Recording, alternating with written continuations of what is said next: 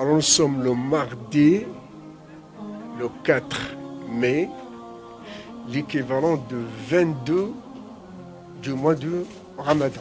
Nous sommes le 22e jour du mois du Ramadan. C'est-à-dire il nous reste soit 8 jours, soit 7 jours.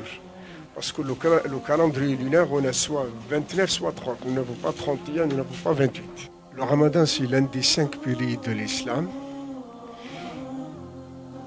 Et le mois de la révélation, parce que le Coran a été révélé pendant ce mois-là, c'est le mois où la communauté en général euh, se trouve vraiment euh, ensemble.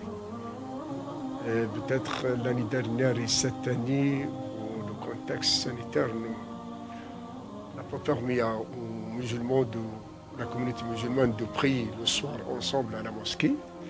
Mais malgré ça, j'essaye de vivre le, climat ou l'environnement du ramadan euh, au sein de la famille. le sens le plus important, c'est le sens spirituel.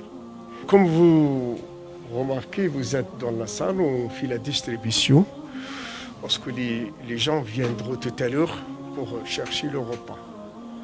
Et on a commencé du début du ramadan, tous les soirs on reçoit autour de cinquantaine de personnes. Des gens qui se trouvent seuls, des gens nécessiteux, des gens musulmans ou pas musulmans, beaucoup de gens qui sont des réfugiés. On essaye un petit peu de faciliter, euh, on peut dire, la, vie quotidienne pour ne pas cuisiner chez eux pendant le ramadan. C'est un moment très très très fort concernant le partage. Parce que vous voyez, il y a beaucoup de gens qui, amènent à manger. Et on a des bénévoles aussi qui viennent ici aider. Et quand on parle, c'est vrai, ce moment de, Ramadan, il y a un changement par rapport aux autres mois. Et le Ramadan reste toujours, on revient au, au vrai sens, c'est le jaune. Et la même chose, quand on parle jaune, selon la capacité physique de chacun aussi, il ne faut pas oublier ça. Parce que le ramadan, c'est comme j'avais dit, c'est l'un des cinq piliers de l'islam. Mais il y a un certain nombre de catégories qui sont euh, dispensées de, jeûner.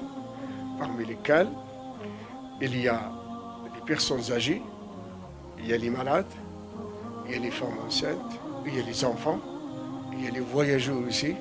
Tout ça, c'est dispensé. Il y a certains qui vont rattraper les jours après et d'autres qui ne rattrapent pas. Ça, c'est le, la, capacité, le contexte de chacun. On va commencer par. Euh, ça, c'est en général, c'est le dessert, etc. Ça, c'est pour. Euh, chacun prend ça.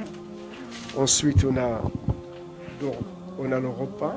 Le repas n'est pas encore arrivé. Ils arrivent avec la soupe qui arrive. Et plus chaque jour, il y a, on appelle des, diversités. Hein. Quelquefois, on a la soupe, c'est tous les jours. Et les restes, il y a selon, le, selon les jours. Voilà, aujourd'hui, c'est des poulets. Hier, on a vu du, riz. Avant-hier, on a, on a vu le couscous. Voilà, tous les jours, il y a euh, voilà, un repas. Chacun vient chercher son repas.